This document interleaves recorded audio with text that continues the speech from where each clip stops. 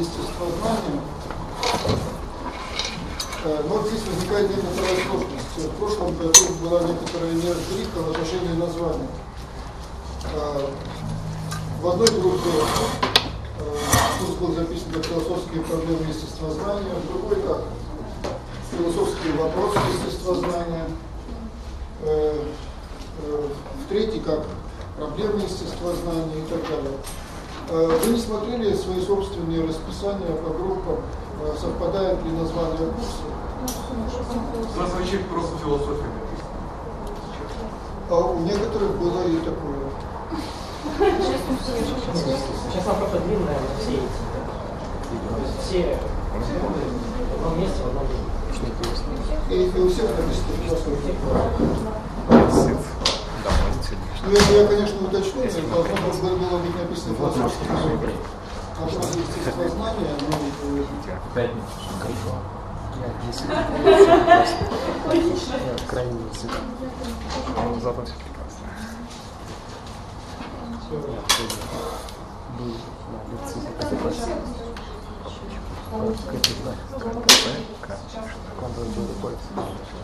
Кто читал Кучинский? Значит, у всех так ну, я буду выяснять, конечно, не должно быть так стоять, должны стоять философские вопросы естествознания. Ну, ну ладно. А, когда с этим разберемся, э, я вам уточню, скажу, как на самом деле будет называться курс. А, э, в зимнюю сессию вы раздаете экзамен, но Опять же, у большинства групп был экзамен в прошлом году, а у некоторых групп сделали зачет.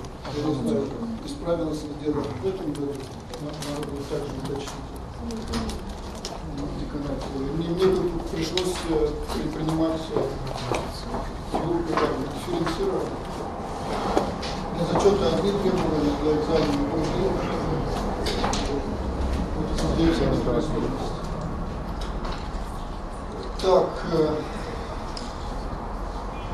во втором семестре э, у нас э, будет курс по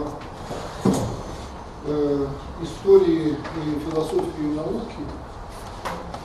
Но этот курс будет читаться факультативно, то есть кто желает, тот записывается, кто не желает, тот записывается. А этот курс нужен для того, чтобы вы получили кандидатский экзамен по истории и философии науки. Если у вас будет кандидатский экзамен, и вы, например, решите поступать в аспирантуру, то члены приемной комиссии, э, которую вы должны пройти, чтобы попасть в аспирантуру, э, с радостью и удовлетворением констатируют, что у этого кандидата уже, кандидата в аспирантуру, поступающего в аспирантуру, уже есть кандидатский экзамен, значит, он э, действительно готовится к защите, уже проходит какие-то... Примерно так обстоит. Э, дальше. Э, в отношении расписания занятий. В прошлом году чередовалось чередовали занятия по четным и нечетным неделям. То есть в одну неделю было две пары, в другую одна пара. В этом семестре как у вас? Так вот, точно, точно так же. Через чередующие.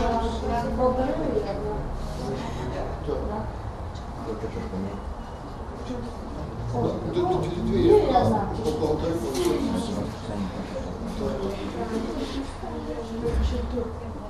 а сегодня, э, сегодня как Сегодня у нас две, А в следующей неделе у нас одна пара. Ну, вообще, это вторая неделя обучения. А по календарю учетно, нечетно году. Так, э, э, значит, это себе отметьте, что расписание чередуется, и что в эту неделю это четко, Ну, тут надо в зависимости от недели, если Если считается неделя учебная, то сегодня одна пара. Если календарные, А, люди говорят, то Ну, может быть, кто-то из старост э, сейчас прямо... Говорит, О, ребята, у меня там большая просьба. Уточните расписание. Четная у нас или нечетная неделя? У нас сегодня пары или одна пара? Сегодня нечетная неделя. А у равно Сегодня инженеры. Сегодня нечетная начала. Прошлое прошлое. В любом случае, две, две пары только просто либо у физиков, либо у инженеров. Либо у физиков, либо у инженеров. а у- ничего недели какая у физика, да, получается? Учетная у инженеров, учетная до. Так, ну ладно,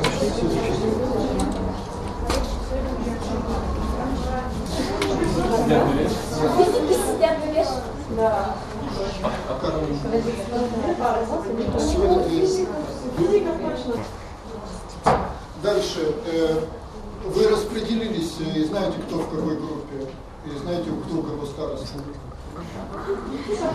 Да. Хорошо, э, тогда мне старосты должны предоставить информацию в отношении почтовых ящиков. Я задание отправлять. Точно? Среду, сколько сейчас? Час. Час десять. Вот, и желательно будет также иметь какой-то объединенный список всех групп. А, давай, да. Давай, да. Где-то здесь.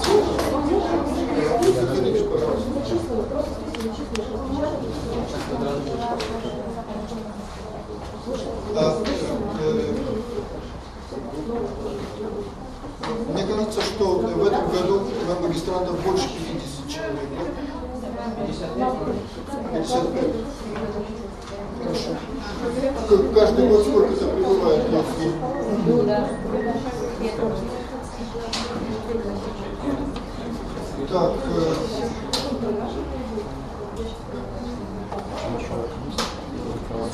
э, ну, э, у, меня да, тогда просьба сегодня мне дать e-mail адреса всех групп, чтобы я мог рассылать домашние задания.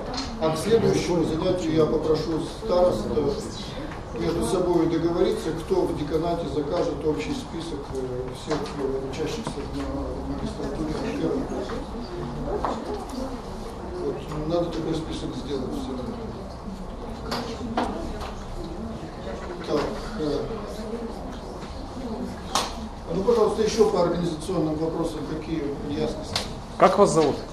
А вот Дмитрий Владимирович Антич. Спасибо.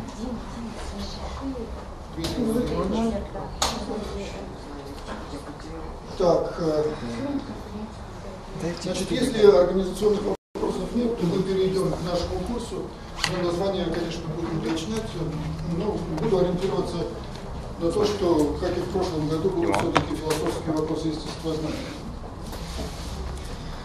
Э, Ну, даже если курс называется философия, это не страшно. Почему это не страшно? Заходите, пожалуйста. Потому что на самом деле, если мы посмотрим на двух э, с половиной тысячелетнюю историю философии, европейской философии, естественно, мы с вами увидим, что философия развивалась неразрывно э, с наукой. И мы не можем даже отделить философию от науки ни в античности, мы не можем отделить философию от науки ни в средние века, мы не можем отделить философию от нау- от науки даже в новое время, например, в 16-17 веке. Э, Лишь, может быть, где-то после 18 века какое-то разделение между конкретными дисциплинами и философией начинается. начинается.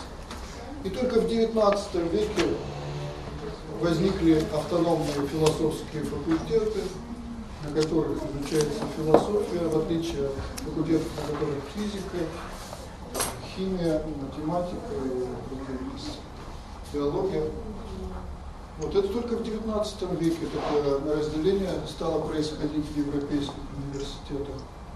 А до этого все было едино, и никакого такого различия между философией и естествознанием в помине не существовало.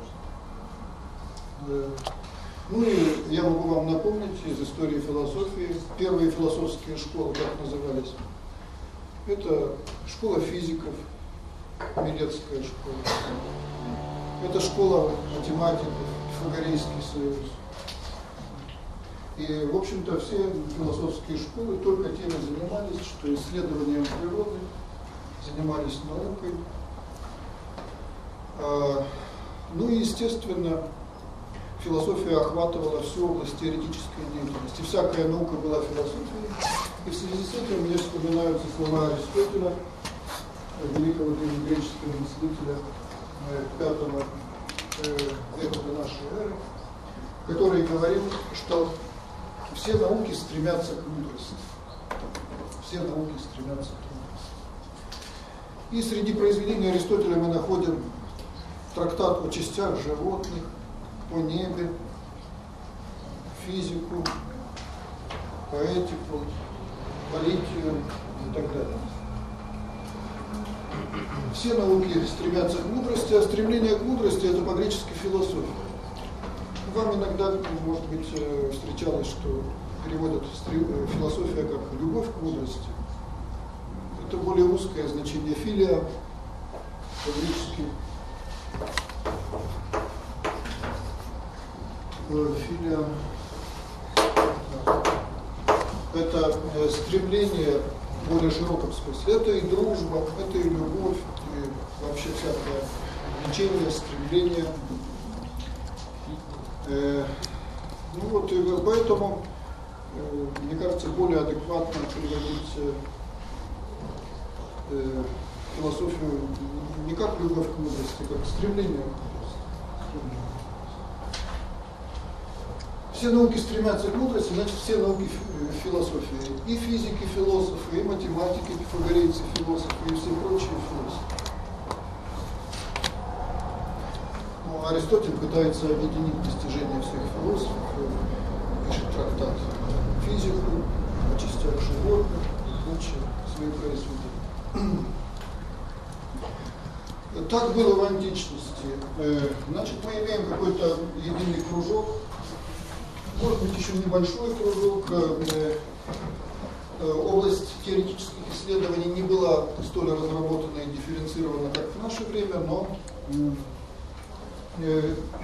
кружок цельный, без всяких расщеплений.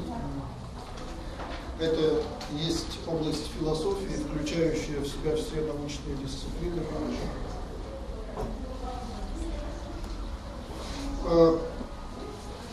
не то что разделение, но некоторая, так скажем, систематизация областей исследования производится лишь э, поздней античности ряд школ, такие как стоики, эпикурейцы и некоторые другие, выделяют три основных области философских исследований. Значит, первая область философских исследований – это физика.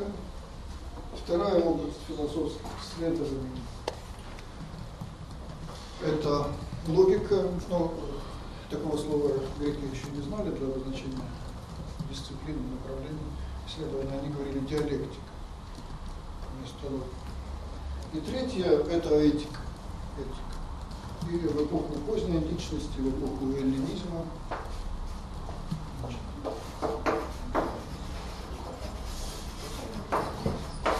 в центр выходит область философии, называемая этикой. Э, далее идет физика и э, как бы скорлупой защитной становится логика.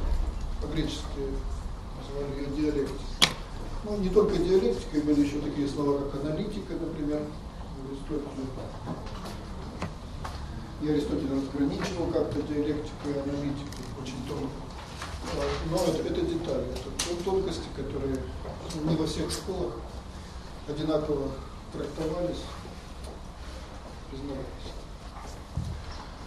Значит, а, без расщепления, без расщепления общей теоретической области, в эпоху ленинизма, э, некоторые классификационные барьеры образуются. А, далее, если мы идем дальше, и рассматриваем, как развивалась философия, то мы э, видим немножечко печальную картину. Философия вместе с наукой. Э, испытывает кризис э, э, в эпоху раннего христианства возрождается лишь к средневековью. Возрождается лишь к средневековью. Наука чуть было не умерла, ну, философия, наука, не важно. Но, слава Богу, не умерла. А в средневековых университетах э, мы имеем, опять же, цельную область теоретической деятельности, классификационные рубежи проходят э, несколько иначе, чем в поздней античности.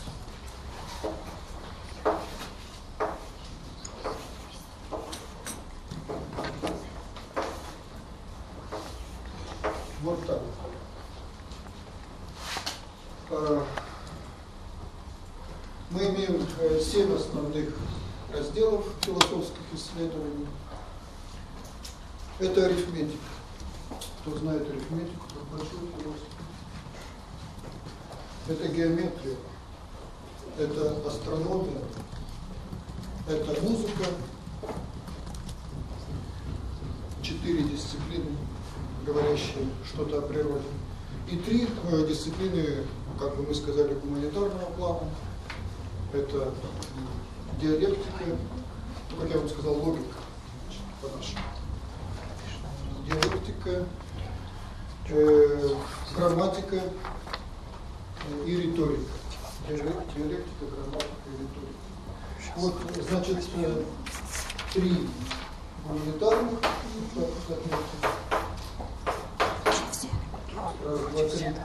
и четыре, которые что-то говорят о природе. Это музыка, она о природе говорит, о гармонии небесных сфер и о прочих интересных вещах. Это арифметика, ну, конечно, арифметика о природе толкует. Это знали еще флоридцы. Геометрия.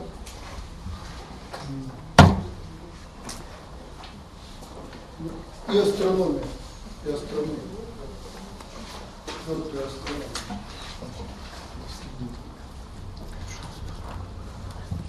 А, вот, а, кто знает арифметику, музыку, грамматику, астрономию, тот и философ.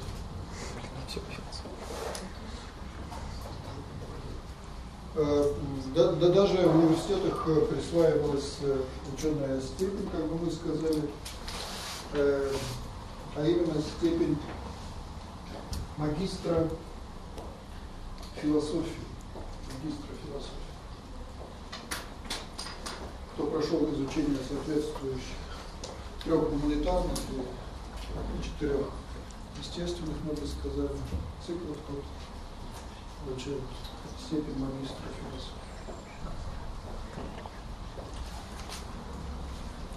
А, так, а, ну вот вы видите, что все как-то странно. Э, будто мы не в России живем. Вы ведь знаете, что в России все по-другому. У нас философия – это идеология. Э, ну да, у нас философия – это идеология в значительной степени в силу исторических обстоятельств. Так уж сложилось, к сожалению и к беде нашей философии. С этим ничего не поделаешь. Но мы будем преодолевать это, что сложилось, и будем трактовать философию, как ее трактовали две тысячи с половиной лет назад. Ну и на протяжении всей последующей истории. Стараемся так-то, так-то. Надо, значит, переучиваться, то, что вы знаете о философии, может быть, это какие-то ясные сплетни.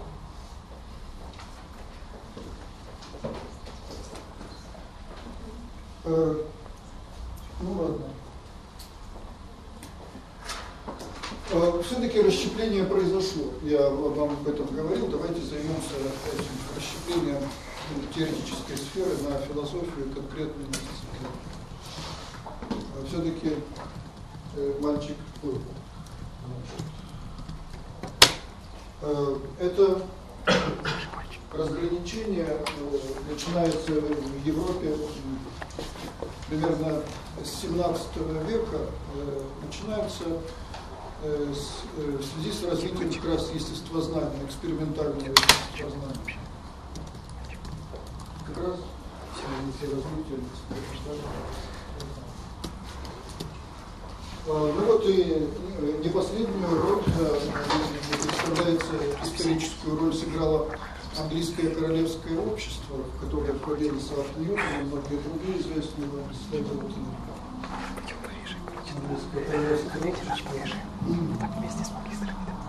А, Они говорили, что они являются философами, но философами э, особого типа. Они говорили, они занимаются натуральной философией, философией природы и противопоставляли себя э, той философии, которая была связана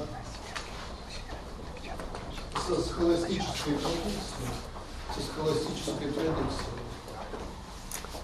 Э,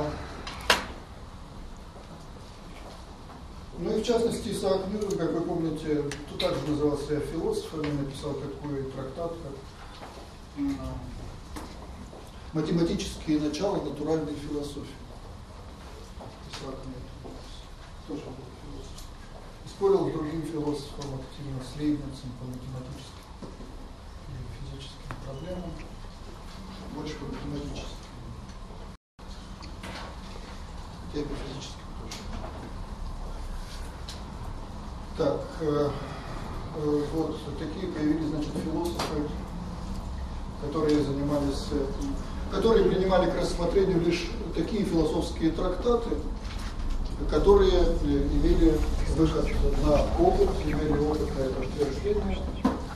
А, В английском королевском обществе было требование не принимать к рассмотрению тексты, которые не имеют э, опытного обоснования, исключать тексты, которые говорят о религии, о политике, о религии, о политике, о нравственности и, и так далее, эстетике. Вот.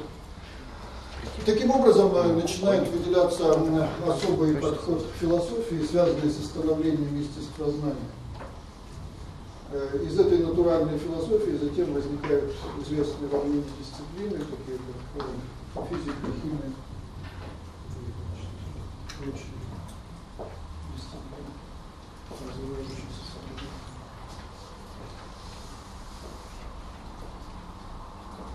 Э, Так, но тем не менее, разграничения факультетов и в помине не было. Э, И оно появляется, как я сказал, только в 19 веке. Факультетов появляется только в 19 веке.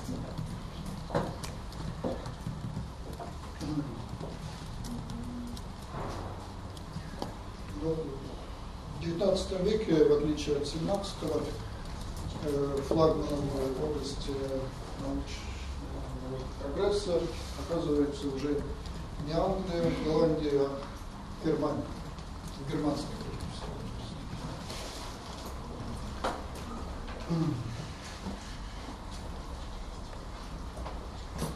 Так, значит, та- такова вкратце история. Мы, конечно, ее более подробно будем рассматривать. А,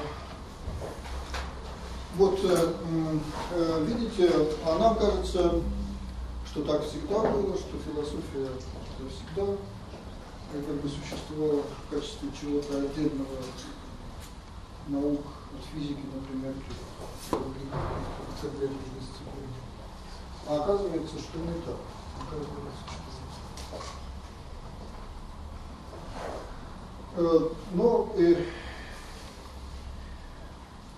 даже после этого расщепления, если мы ориентируемся не на нашу связанную с идеологией, очень тесную традицию, а на общую мировую традицию, продолжающую греческие корни, то мы видим, что философия по-прежнему неразрывна от научных исследований, что вот многие философы, они являются выдающимися учеными, хотя это не часто, конечно, я напрасно сказал многие,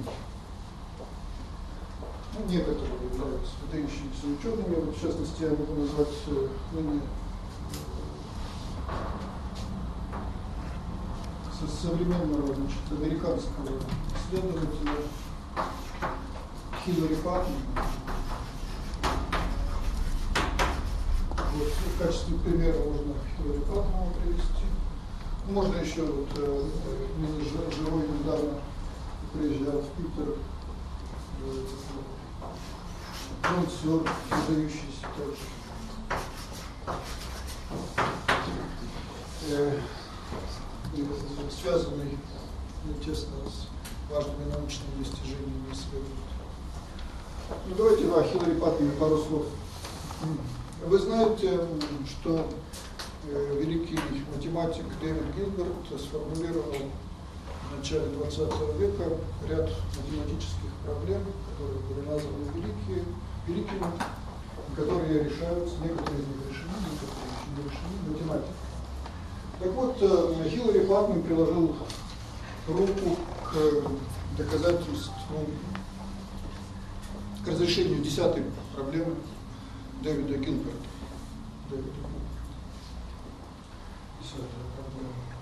Кроме того, Хиллари Паттон э, занимается интерпретацией квантовой механики, анализирует различные концепции квантовой механики, которые существуют в современной науке и развиваются. А в чем десятая проблема-то заключалась? Что? Десятая проблема-то в чем заключалась? Э, ну вот, э, к сожалению, я вам, э, вам объяснить не могу, я не настолько хорошо знаю математику, как Хиллари Паттон, я, к сожалению, не могу на ваш вопрос посмотреть, в чем проблема. Э, э, Джон Сёрн, э, также известный исследователь, э, э, вот, э, в, области теории искусственного интеллекта, например, э, есть какие-то критические эксперименты Джона Сёрна, так называемая китайская комната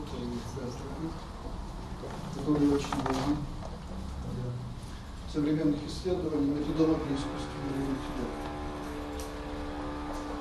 А, Ну, из более ранних аналитиков можно назвать, э, например, Бертрана Рассела.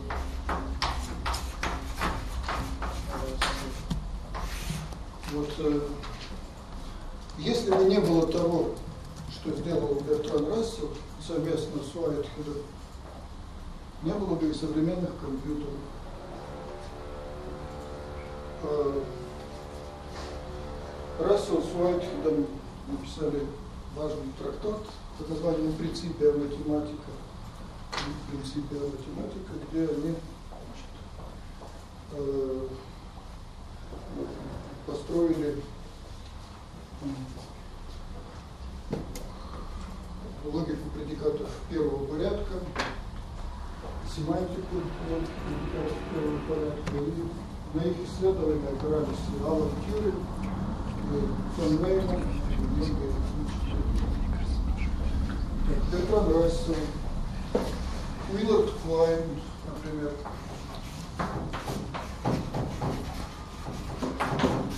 Уиллард Куайн тоже интересный э, философ 20 века. Э, он в философии начинал с того, что решил построить теорию относительности Эйнштейна в виде формальной аксиоматической системы. И занимался значит, этим. Ой, извиняюсь. Я- Это, это, это учитель Куайна, Рудольф Карн. Рудольф Карн делал. Вот, э, о Куайне немножко позже. Рудольф Карнов э, начинал с того, что пытался формализовать теорию относительности в качестве аксиоматической системы. Добился очень интересных э, успехов, э, построил семантику весьма отличная от принципа математики расовой Вот, а Уиллард Квайн это также э, выдающийся философ науки, логик, э, э, очень важный для философии 20 века, один из самых цитируемых авторов. Вот. Занимался проблемами философской логики, философии логики и внес большой вклад в развитие соответствующей области. Так, ну вот э, некоторые примеры. Есть э, философы, которые ну, либо математику хорошо знают, как Хиллари Паттон, либо в логике сделали очень много. Э, даже в области теоретической физики, вот если взять Паттона и Карнапа, но больше, конечно, наверное, у Паттона, если брать актуальные для современных результаты. Результаты доктора Карнапа интересны, они задали общий путь, но сегодня мы имеем уже как бы более разнообразные, скажем, опирающиеся на современную науку, интерпретацию. Вот э, видите, что философская мысль, она э, связана с наукой, с различными научными дисциплинами. Можно указать также э, многие философы, допустим, с нейрофизиологией очень хорошо дружат, например,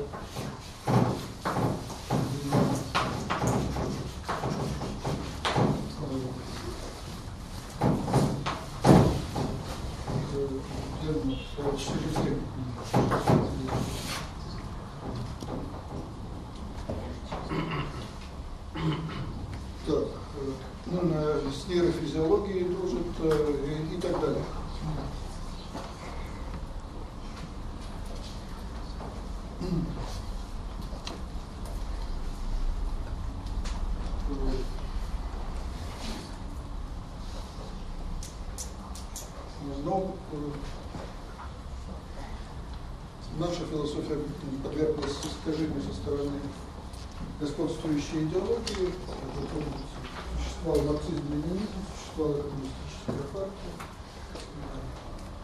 понесла свою лепту в удалении мысли философской от э, столбового пути, от э, связи с наукой, с научными исследованиями,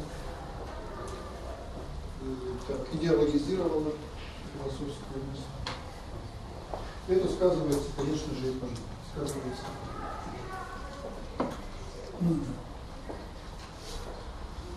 Э, ну, вот не все так плохо, да, даже э, я могу э, на, на э, опыт нашей кафедры сослаться. Например, э, мой ученик ныне э, работает в Варварде, в Варварском университете. Он занимается семантикой языков программирования семантикой языков программирования. Использует э, аналитическую философию языка для того, чтобы помочь э, в фундаментальных вопросах группе программистов, которые занимаются разработкой новых языков программирования. По контракту на два года туда пригласил.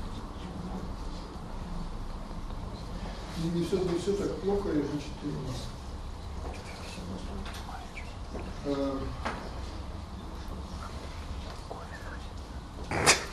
Так. Да, ну и политология искусственного интеллекта, например, пишут регистранты работы по философии языка современной пишут теории познания. Все это связано с наукой, все это связано с наукой. И это, мне кажется, хорошо, это близко к столбовой дороге развития европейской философии.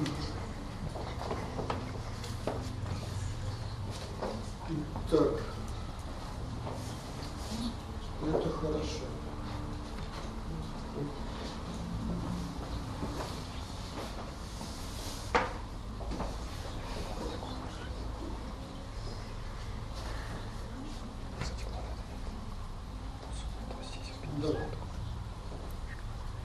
Значит, э, ну, как вы догадываетесь, э, у научной общественности, например, того же славного Маркова, проблем с философией нет. Они с удовольствием приглашают своих философов. Равным образом в Гарвард, в университет. С нашей кафедры э, преподаватель стажировался в Стэнфорде, занимался исследованиями в области математической логики, ну и, например, доказал ряд важных теорем. А Одна из теорем уже не в Стэнфорде, доказанная, касается асимметричности правил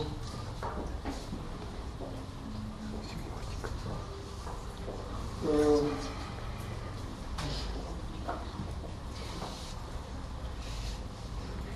правила деления, и как это второе это называется, в натуральном исчислении высказываний, но об натуральном исчислении высказываний интуиционист.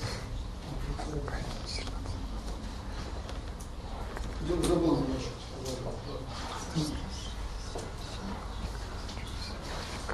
Так, э, вот э,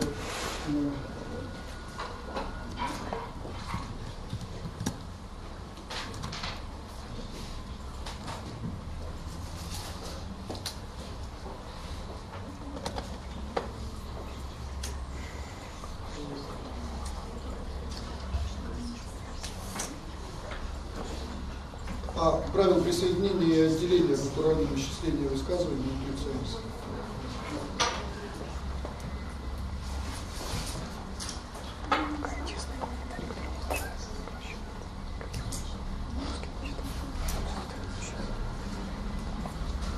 Э, Ну, к- к- конечно же, философия более многообразная.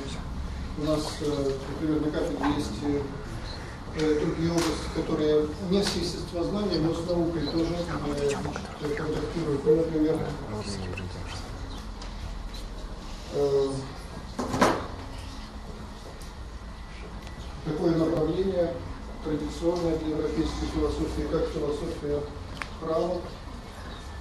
Современная философия, оно м, развивается, используя некоторые методы логического анализа. И один из преподавателей нашей кафедры э, работает также э, э, Лобовиков Владимир Олегович, работает э, в Институте философии права УРО охраны, где занимается именно философией права, математическим правоведением. Вот э, очень, очень интересное направление.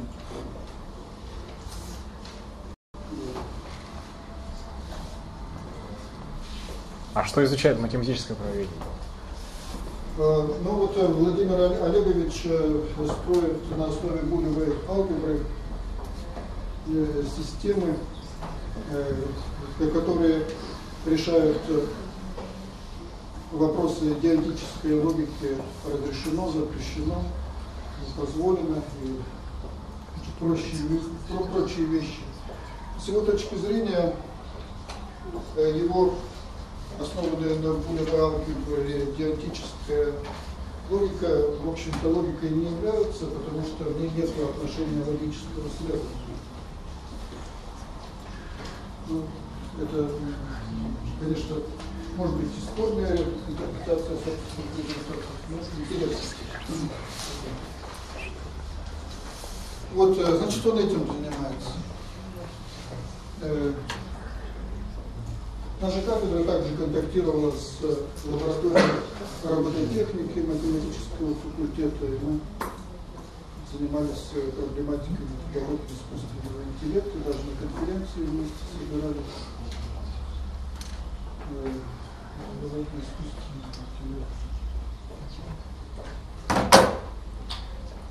Какая самая главная проблема искусственного интеллекта?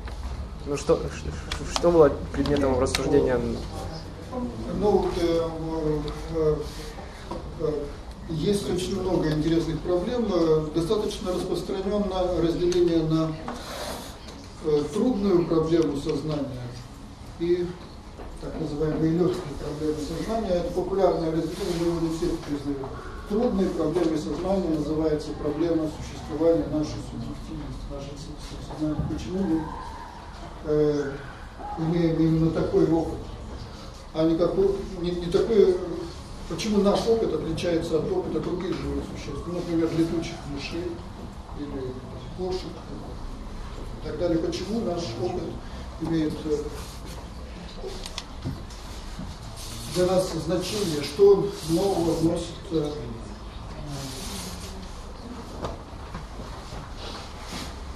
в наше сознание и так далее. Это называется трудные проблемы сознания. Легкие проблемы сознания решаются путем взаимодействия с нейрофизиологией, генетикой и так далее. Они подлежат какому-то конкретному решению. А над трудной проблемой сознания бьются э, такой более абстрактном, более общем ключе, привлекая философскую власть. Есть такое разделение, не все перевод Это касается значит, теории искусственного интеллекта. А конкретно это на практике где-то пригождается? Когда там что-то начинают какие-то системы делать? А, да, конечно, конечно. Э, в настоящее время э, создаются специальные аппараты, которые э, призваны диагностировать наличие или отсутствие сознания без обращения к анализу поведения носителя этого сознания. Но э, подобный аппарат одним из первых предлагал Чалмерс. А, австралийский философ э, Чалмерс, э, э, очень популярный в области философии сознания теории искусственного интеллекта, как-то продемонстрировал на конференции прибор, позволяющий диагностировать наличие сознания. Испытуемый, каждый желающий в качестве испытуемого подходил, и прибор загорался, диагностируя значит, наличие сознания соответствующего человека. Какой критерий отбора? Смог подойти к прибору, осознал это. Ну вот э, интересный казус. Э, к этому прибору подошел э, значит, подключился к этому прибору, лампочка не зажглась. А обезьянка? С точки зрения Даниэла Дэна, это все мы зомби. Э, наша субъективность э, – это иллюзия. Э, мы э, являемся э, очень сложными автоматами. Идея особого субъективного опыта, моего восприятия, допустим, красного или моего ощущения пространства и так далее, это все э, нечто близкое к эпифеномену. Э, Вот лампочка разожглась, и Даниэл Данагенович удовлетворенно сел на свое место. Говорят, такие, кажется. Может, лампочка перегорела?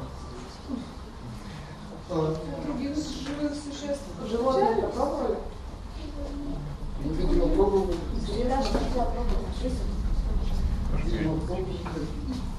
ну, Но э, дело в том, что понятие сознания, когда мы берем современную философию сознания, оно достаточно широкое, и считается, что у высших животных оно, э, так скажем, они осознают свою уникальную субъективность, и отличие, их уникальная субъективность отличается от представителей других видов. Считается.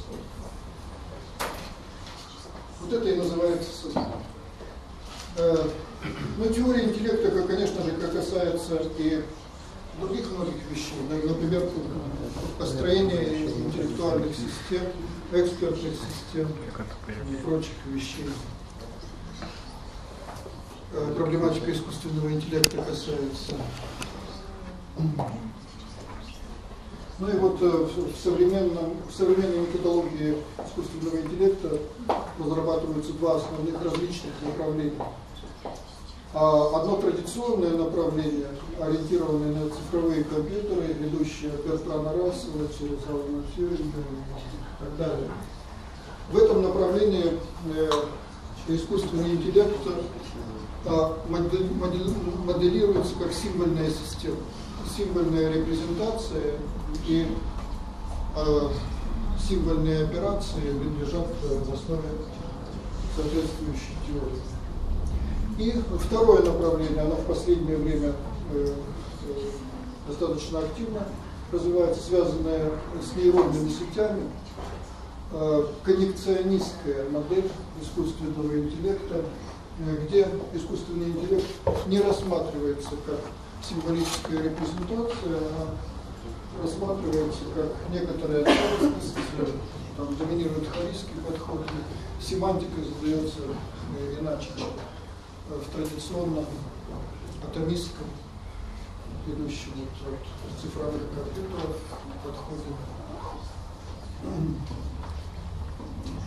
Ну вот, э, есть еще много других, конечно, интересных областей теории искусственного интеллекта. И об этом можно много говорить, этим можно долго заниматься. Так, ну вернемся, значит, к философии. Э, да, философия, значит, включает в себя такую интересную область, как теория искусственного интеллекта. И на нашей кафедре существует специализация для магистрантов. Э, специализация называется интеллектуальные системы и когнитивные исследования. Интеллектуальные системы и когнитивные исследования. В этом году мы набрали немного, но пять человек набрали.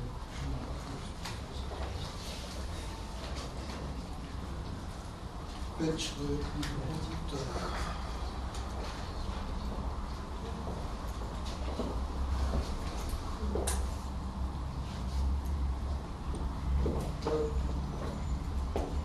Э, мы видим, значит, что философия может и должна э, находиться с наукой медицинской.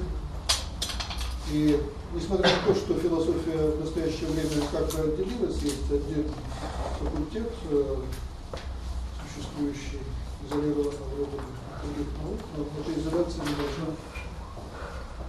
преувеличиваться, не должна, э, сказать, приводить к какому-то сепаративизму философского исследования философия не имеет, так скажем, такого предмета, который был бы неинтересен другим. Так можно сказать. Ну и э, многие авторы, современные даже представители философии 20 века, по-прежнему э, полагают, что философия представляет из себя какую-то квинтэссенцию науки. Вот тот же Хиллари Фатман, э, он прежде всего позиционирует себя как философ, не как математика, не как физика, теоретика. Философия – это некоторая квинтэссенция научной деятельности. Э, вот. Я думаю, что э, подобное понимание философии является более адекватным, чем все версии идеологизированной философии, которые существуют в СССР, в Китае, в регионах. социалистической, постсоциалистической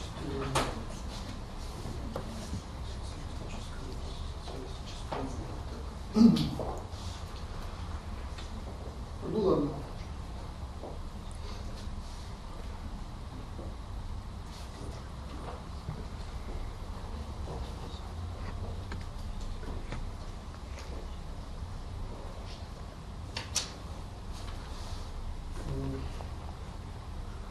Значит, у нас перерывы как... Уже должен. Уже должен быть перерыв, да? Ну, Давайте сделаем небольшой перерыв о том, как наука зародилась и что такое наука. А На своих лекциях э, Поппер м, использовал следующий прием. Э, А, В аудитории с физиками он предлагал своим студентам такое задание. Ну все, что там. А еще Поппер говорил, я вам даю 228. одну минуту времени, вы должны на протяжении этой одной минуты проводить э, наблюдения и записывать э, значит, э, тот опыт, который вы приобретаете. Все, задание ясно, время пошло. Проводите наблюдения, записывайте то, что Так, а что делать? Получаете. Записывается.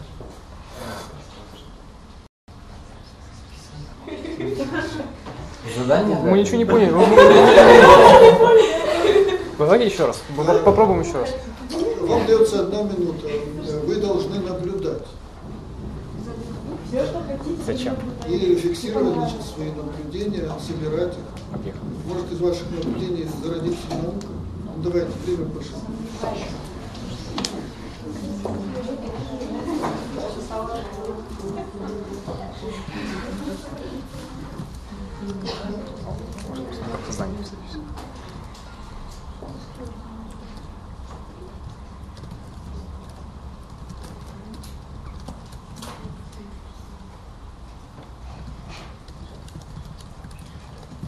Существует просто такая теория, что сначала люди, дескать, накопили опыт, наблюдали природу, допустим, затем из этих наблюдений, из этого накопленного опыта родилась наука.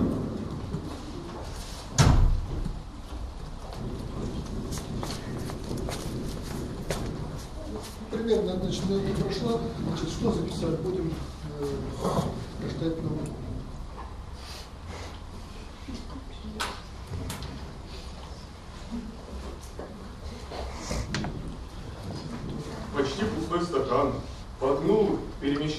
Капли, если вращать этот стакан в руках. Вязкостные характеристики капли коррелируют с вязкостью обычной воды. Сказка чего? С вязкостью обычной воды. Ну, где стакан? Там где-то есть стакан? У меня есть.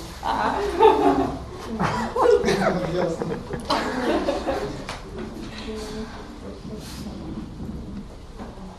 Хорошо. Обязательно что-то записывать надо. Ну, э, свои, так скажем, э, наблюдения нам надо как-то фиксировать, чтобы было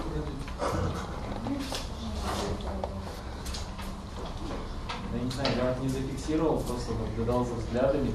Парни в основном сделали такие прищуренные глаза и начали как-то хитро смотреть по сторонам, а девушку как-то пространно так глядели. В основном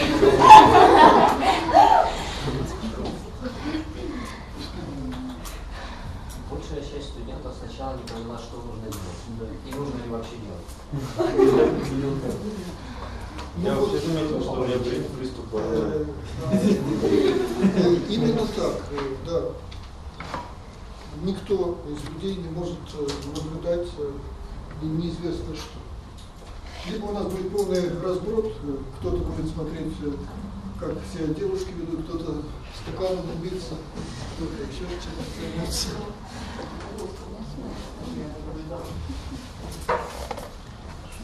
Вот, и никакого единства никакой науки у нас не возникнет.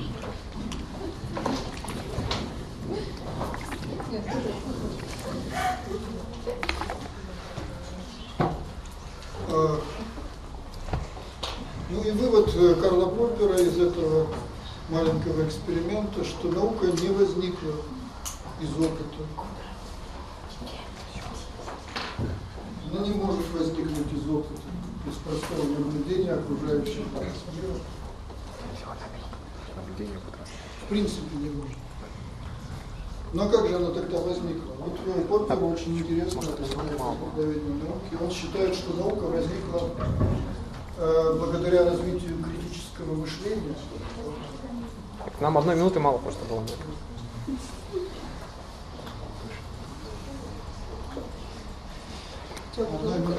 Конечно. Не, ну, наверное, долго можно. Это было достаточно, чтобы понять, что ты находишься на философии. Что ты еще раз? Что ты находишься на аборигены Австралии наблюдали не одну минуту окружающий их мир. Они наблюдали его, наверное, порядка 200, если не ошибаюсь, тысяч лет. да? И тем не менее не родили никакой науки. Так, зачем вам рождать науку? Он пошел, сорвал еду, съел, все. У них не холодно. Если, если есть какой-то этот,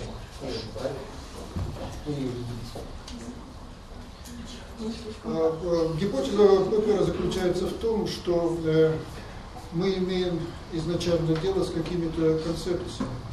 Первоначально это миф. Да, у людей э, различных народов были свои собственные мифы, и они, руководствуясь этими мифами, проводили свои наблюдения. А с возникновением критического мышления э, мифы подверглись селекции, критике, улучшению. Э,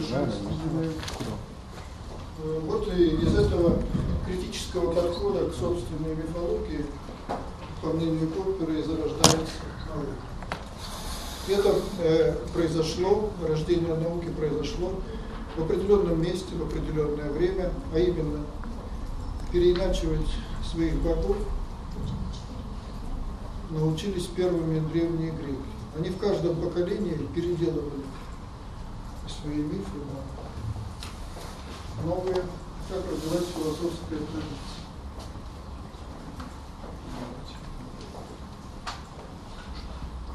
А, Так родилась наука.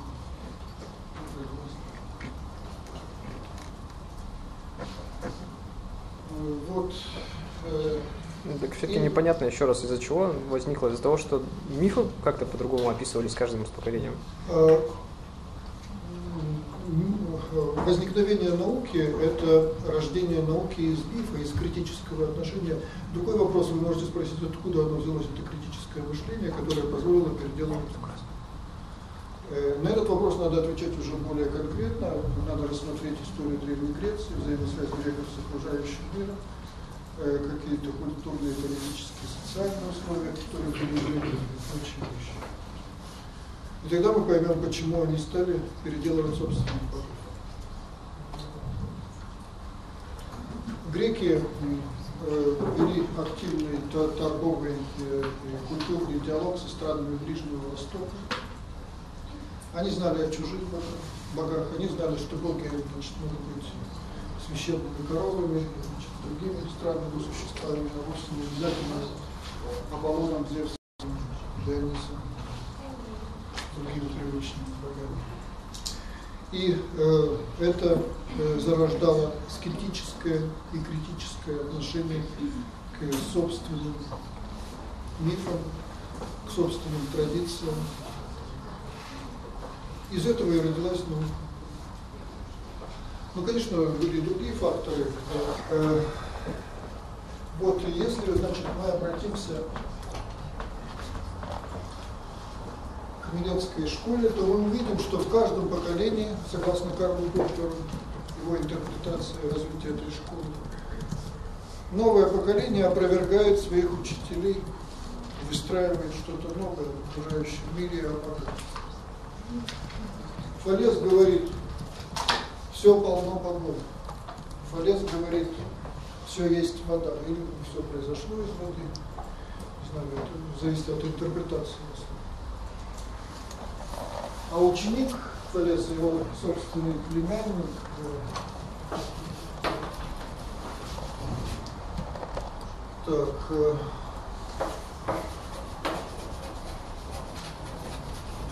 мой собственный, значит, племянник Анаксимандр говорит, а вовсе не так. Э, Фалес утверждал, что э, все есть вода, все произошло из воды, все опирается на воду, и устроил такую космологию, что Земля плавает в воде, э, и э, мы живем на этой плавающей в воде, океане, земле. Анаксиман говорит, ничего подобного. Если Земля плавает в воде, если Земля опирается на воду, то нам надо объяснить, на что опирается вода, на которую опирается Земля. Если мы объясним, если найдем какое-то первоначало, на которое опирается вода, которая держит Землю, то мы можем смело ставить следующий вопрос. А на что опирается то первоначало, на которое опирается вода, которая держит Землю? И если мы найдем такое первоначало, на которое опирается первоначало, на которое опирается вода, в которой плавает Земля, то мы вправе спрашивать дальше, мы получаем прогресс бесконечный. Это один из древних философских аргументов. Если мы не можем остановиться в своем объяснении, это не есть хорошо.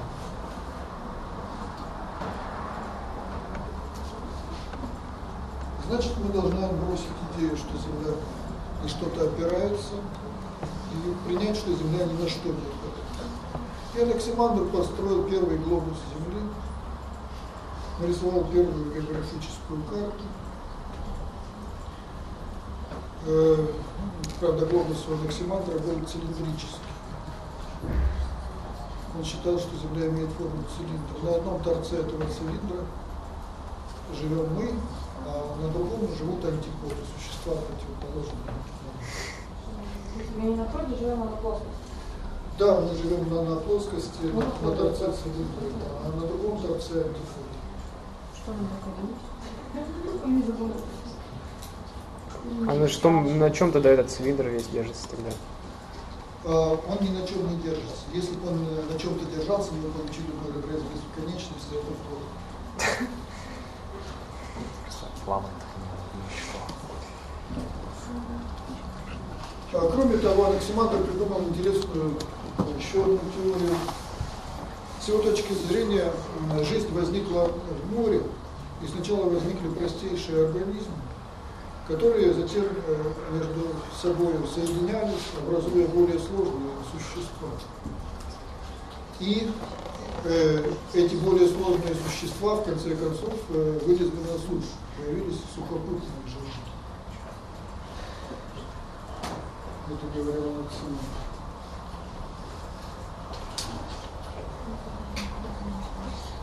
Э, но как же быть с первоначалом?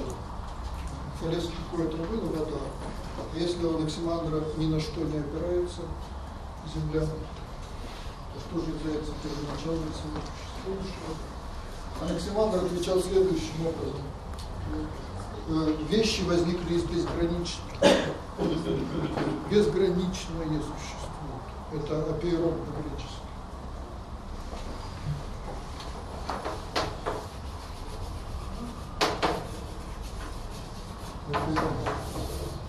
Вот, существует некое безграничное. Из него возникают все вещи. Вещи приводятся к существованию благодаря э, нарушению гармонии, благодаря несправедливости в рамках безграничного. И поэтому богиня судьбы преследует всякую существующую вещь до тех пор, пока она не вернется в безграничное, из которого возникла благодаря несправедливости.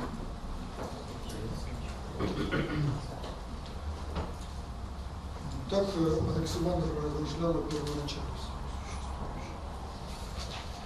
Вы видите, э, что-то он не очень уважал своего родного дядю, получается. Но не так. На самом деле он уважал своего дядю. Его дядю уважали все греки. Его дядя был причислен в дальнейшем к себе легендарному мудрецу. Все уважали его дядю, и Александр тоже уважал своего дядю. Поппер отмечает, что у нас нету не только никаких фактов, но и ни одного свидетельства, чтобы между Анаксимандром и Фалесом возникли какие-то конфликты. Ни одного свидетельства. Чтобы они когда-нибудь поссорились, повздорились.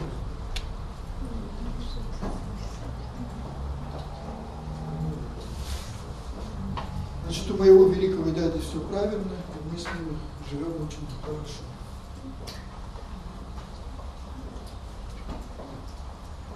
Э, э, здесь как раз э, мы видим, что рождается какая-то новая традиция, не характерная для прежних цивилизаций.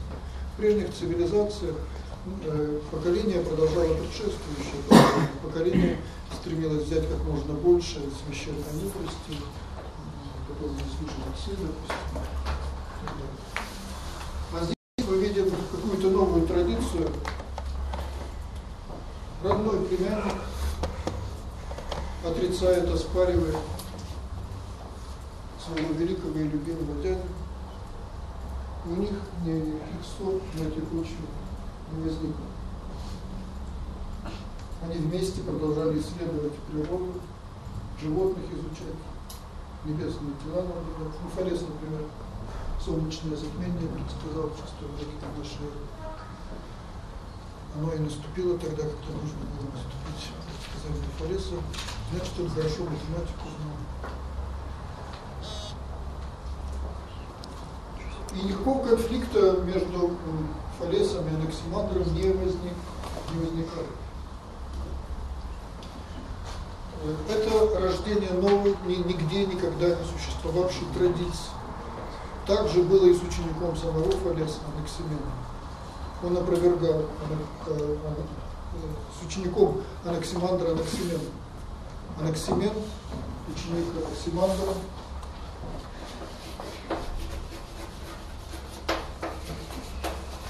Анаксимен, ученик Анаксимандра, опровергал теорию Максимандра, доказывая, что э, первоосновой всего существующего являются такие значит, основные стихии, как э, воздух, огонь, вода.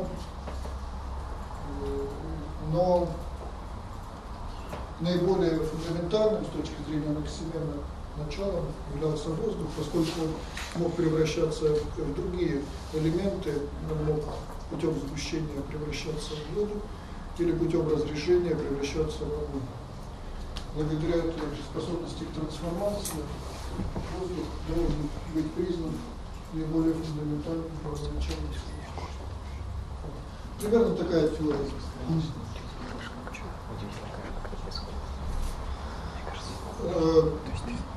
Э, Анаксимен опровергает своего учителя, и они опять же не ссорятся, не делаются. Традиция продолжается. И она продолжается вплоть до наших дней. Только, только там, где она продолжается, есть только там, где она продолжается, есть даже больше, чем наука, есть европейское человечество. Есть европейское человечество. Э, вот это критическое мышление, оно в дальнейшем переходит с области исследования природы на всю сферу культурной жизни. С области исследования природы переносится на всю область культурной жизни древних греков. И, например, если мы посмотрим 5-4 век до нашей эры, каждый грек без исключения уже является философом. Следует защищать пуще крепостных стен родного города. Нам следует защищать пуще крепостных стен родного города. Это Гераклит сказал? Да, это Гераклит сказал. И уже у Гераклита был и логос, но логос это высший божественный закон, который управляет всей природой. А номос – это закон, созданный людьми, но люди обязаны ему подчиняться, э, пуще, чем защищать стены родного города.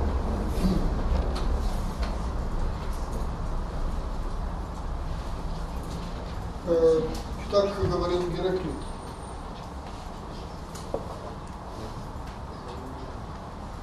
Э, ну и, в общем-то, в различных политических системах Древней Греции это правило соблюдалось. Ну, например, в афинской демократии. В Афинах на государственные должности.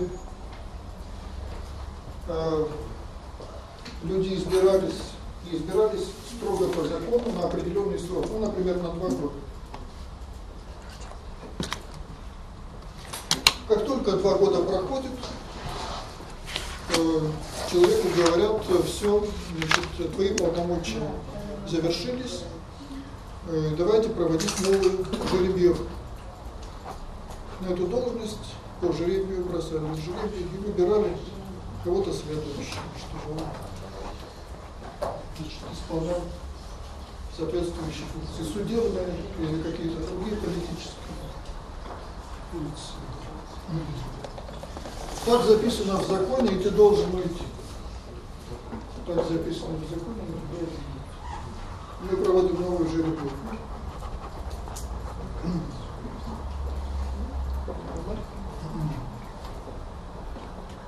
Вот э, греки это уже прекрасно понимают. Э, мы видим, что критическое мышление распространяется не только на исследования природы, но и на социальную, политическую, культурную жизнь древних лиц. И э, одним из важнейших этапов этого распространения был пятый век до нашей эры, решающий, так можно сказать, э, э, эпоха греческого просвещения, эпоха софистов, софисты, платные учителя мудрости, все, что наработали Гераклит, Фалес, Анаксимандр, Парменид и многие другие, они распространяли среди граждан за приличную плату, конечно. Но э, философские знания ранних мудрецов не остались без дел. Они вошли в плоть и кровь значит, европейской культуры благодаря софистам. Благодаря софистам. Первым просветителем европейского человечества. И, конечно, после софистов э, легко отправить императора куда-нибудь подальше. Это уже каждый гражданин э, мог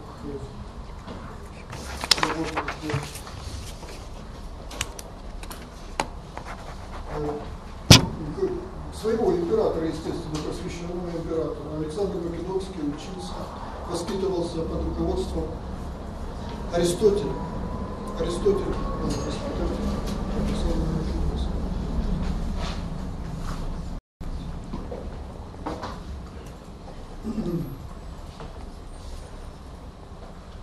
Так. Вот, значит, примерно так. Наука повлияла, наука философия, наука философия, тоже повлияла на всю культурную жизнь европейского человечества. Э,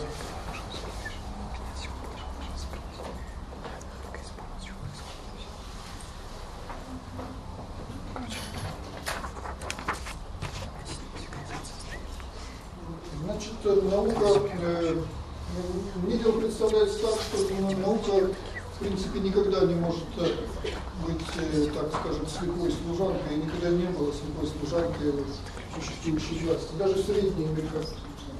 В средние века, ну, например, в средние века. Сергей Владимирович, а уже пара закончилась. Тот, Да. Короче, Ну, пошел. на- И напиши. тогда, значит, на сегодня все. Эта штука начинает пищать. А. Если, через эту штуку можно типа задачи закрыть, все, то пошел типа себе с ладно. У меня вот типа, Я вам отправляю домашнее задание. Еще одна. Она э, включала в свет в раз, То есть, когда дверь закрываешь, это так, сигналом появляется, то есть на 15 секунд через себя пропускает. И вот через этот п- провод был подключен. Какая у вас э, пара Я вот стоит общая? Первая или вторая? Первая стоит И как так получилось, что Ну, я, отцепил, первую у меня теперь это повлияло как прибор мерится температура двигателя. Двигателя, двигатель меряется, меряет сопротивление, ну, короче, тема датчик. Сейчас вот, сейчас он стал раньше включаться.